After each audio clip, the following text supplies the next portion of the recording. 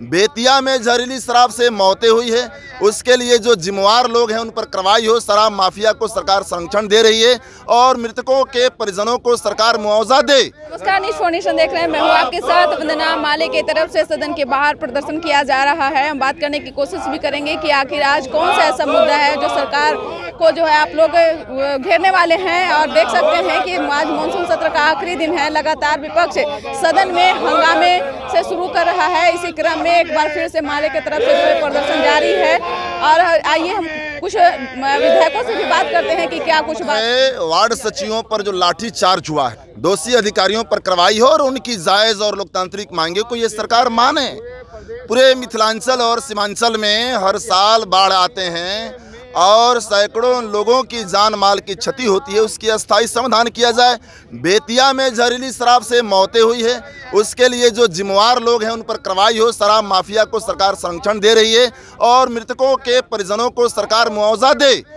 किसानों को गुलाम बनाने वाली देश में कंपनी राज, कॉरपोरेट राज स्थापित करने के लिए किसान और कृषि विरोधी जो तीन कृषि कानून है, सरकार उसे वापस ले। मोदी सरकार के विरुद्ध किसानों की लड़ाई चल रही है। सैकड़ों किसान शहीद हो चुके हैं। सरकार उनके ऊपर जो तीनों कृषि कानून है, वापस ले। दूसरी बात है, जो महत्वपूर्ण सवाल है, अभी मैं फ़ोटो मंगाया हूँ जवाब के साथ। स्वास्थ्य से संबंधित आज मेरा एक सवाल का जवाब है। मंत्री महोदय श्री मंगल पांडे जी का आया है।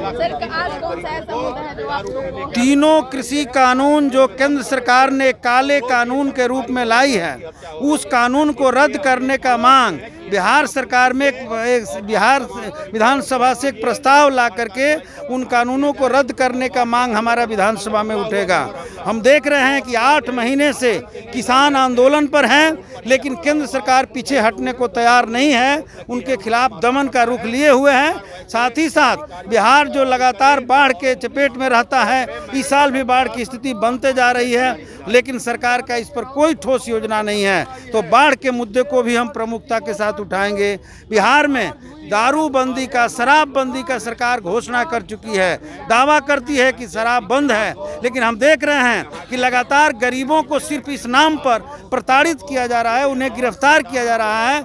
लेकिन बड़े लोग जो दारू माफिया है, शराब माफिया है, उनको सरकार बचाने में लगी है। किसानों को गुलाम बनाने वाली देश में कंपनी राज, कॉरपोरेट राज स्थापित करने के लिए किसान और कृषि विरोधी जो तीन कृषि कानून है, सरकार उसे वापस ले। मोदी सरकार के विरुद्ध किसानों की लड़ाई चल रही है। सैकड़ों किसान शहीद हो चुके हैं। सरकार उनके ऊपर जो तीनों कृषि कानून है, वापस ले। दूसरी बात है, जो महत्वपूर्ण सवाल है, अभी मैं फ़ोटो मंगाया हूँ जवाब के साथ। स्वास्थ्य से संबंधित आज मेरा एक सवाल का जवाब मंत्री महोदय श्री मंगल पांडे जी का